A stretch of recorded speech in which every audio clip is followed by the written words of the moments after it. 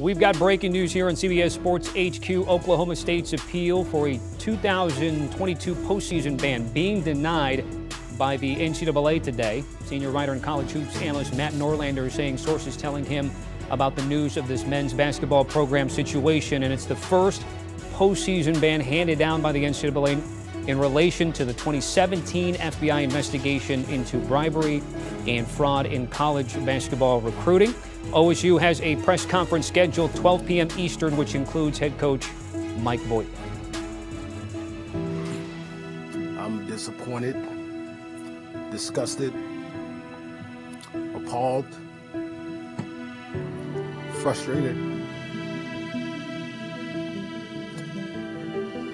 But somewhere in Indianapolis, there's a group of people celebrating.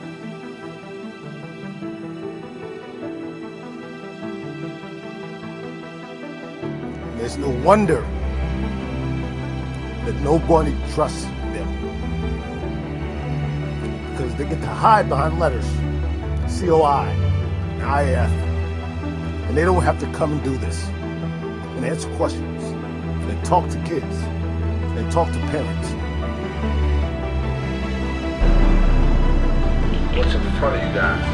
Right? Much greater than what's behind you.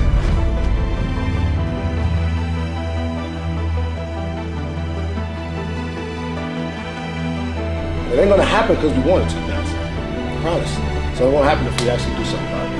Having the opportunity to continue to create what this legacy of this team will be is a nice, big, big moment. Start to the finish. For 40 minutes or whatever it takes. Been there before. But when you go through the history, the historical parts of this university, not only for players, coaches, athletic directors,